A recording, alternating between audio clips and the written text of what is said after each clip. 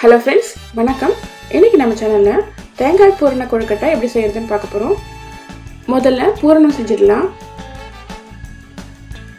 இங்கே பாருங்கள் நான் இதில் நூறு கிராம் அளவுக்கு வெல்லம் எடுத்திருக்கேன். அதே மெஷர்மெண்ட் கப்பில் இரநூறு கிராம் அளவு துருவன தேங்காய் எடுத்திருக்கேன். உங்களுக்கு இனிப்பு ஜாஸ்தியாக தேவைப்பட்டுச்சுன்னா நீங்கள் தேங்காயின் அளவை குறைச்சிக்குங்க. நூற்றம்பது கிராம் அந்த மாதிரி போடுங்க. அளவுன்னு பார்த்தீங்கன்னா ஒரு கப்பு வெல்லத்துக்கு ரெண்டு கப்பு துருவன தேங்காய் போடுறோம். ஸ்வீட்னஸ் கொஞ்சம் அதிகமாக இருக்கணும்னா நீங்கள் தேங்காயின் அளவை கம்மி பண்ணிக்கோங்க. முதல்ல ஒரு வானலியை ஸ்டவ்வில் வச்சுட்டு அதில் ஒரு ஸ்பூன் அளவுக்கு நெய் விடுங்க.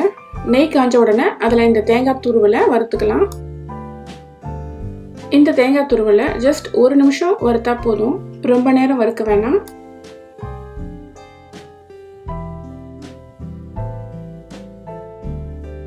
இப்போ இதில் வெள்ளத்தை கொட்டி கிளறலாம் வெள்ளம் நல்லா கரைஞ்சி மிக்ஸ் ஆகணும்.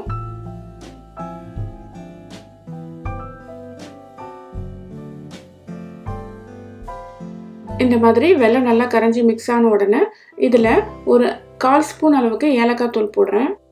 ரொம்ப நேரம் வறுக்க வேணாம். வெள்ளம் நல்லா கரைஞ்சி தேங்காவோட மிக்ஸ் ஆனால் போதும். பாருங்கள் தேங்காய் பூரணம் ரெடி ஆயிடுச்சு. ஸ்டவ்வை ஆஃப் பண்ணிடலாம்.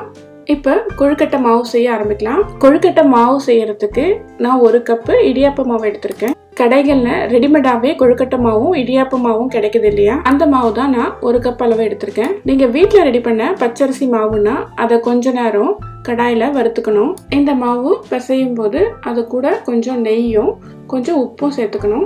இப்போ மாவு செய்யறதுக்கு தண்ணி கொதிக்க வச்சிடலாம். ஒரு பாத்திரத்தில் இந்த அளவு தண்ணியை நல்லா கொதிக்க வைங்க. தண்ணி நல்லா கொதிக்க கொதிக்க இருக்கணும். எந்த கப்பில் அரிசி மாவு அளந்தீங்களோ அதே கப் அளவுக்கு தண்ணியை ஊற்றி பிசையணும்.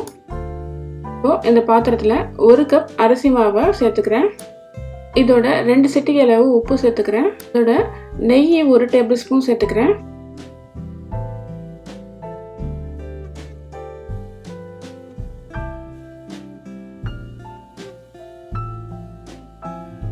இப்போ எந்த கப்பில் அரிசி மாவு அளந்தனோ அதே கப்பில் அதே அளவுக்கு தண்ணியை அதாவது கொதிக்க கொதிக்க இருக்கிற தண்ணியை இதில் ஊற்றுறேன் இப்போ இதை நல்லா ஒரு ஸ்பூன் வச்சு கலந்து விடுங்க. கை விட்டுடாதீங்க ரொம்ப சுடும்.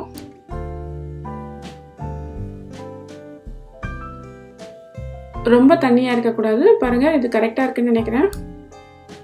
பாருங்கள் இந்த மாதிரி இதுதான் இதோட பதம் நல்லா கலரி விடுங்க. இந்த மாவு ஓரளவு சூடு குறைஞ்சிருந்தால் தான் நம்மளால் கொழுக்கட்டை செய்கிறதுக்கு ஈஸியாக வரும். இப்போ ரொம்ப சூடாக இருக்குது அதனால் ஒரு மூடி போட்டு மூடி வச்சுருங்க. கொஞ்சம் சூடு ஆறின பிறகு எடுத்து பார்க்குறேன் இப்போ பாருங்கள் இது கரெக்டாக இருக்குது உங்ககிட்ட கொழுக்கட்டை செய்கிறதுக்கான அச்சு அந்த கோன் அச்சு இருந்ததுன்னா நீங்கள் அதுலேயும் பண்ணலாம்.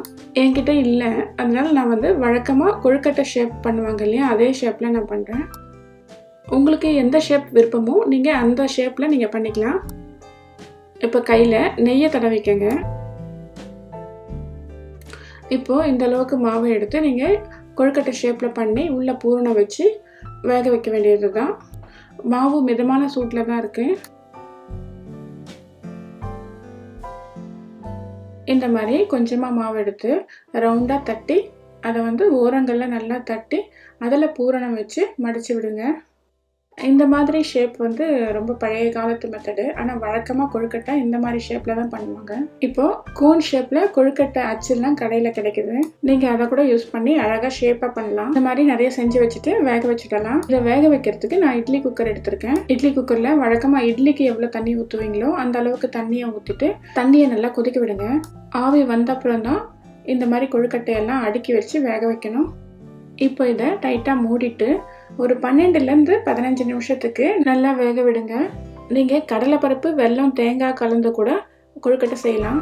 பன்னெண்டு நிமிஷம் ஆயிடுச்சு. இப்போ ஸ்டவ் ஆஃப் பண்ணிவிட்டு கொஞ்ச நேரம் பொறுத்து ஓப்பன் பண்ணி பார்க்கலாம். இப்போ பாருங்கள் திறக்கிறேன். வாவ் இங்கே பாருங்கள் கொழுக்கட்டை நல்லா வெந்திருக்கு. இதே மெத்தடை ஃபாலோ பண்ணி இன்னும் மீதம் இருக்கிற கொழுக்கட்டையும் வேக வச்சுக்கலாம்.